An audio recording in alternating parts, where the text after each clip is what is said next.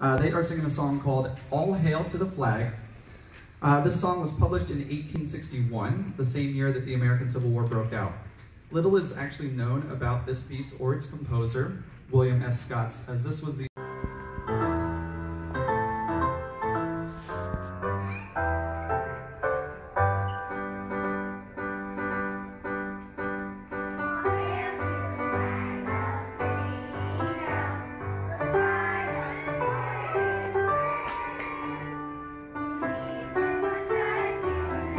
for the Confederacy, as well as the 1864 Lincoln Campaign.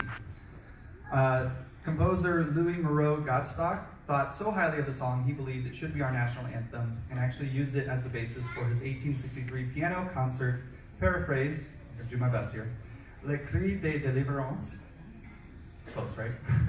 Which translates to the cry of deliverance.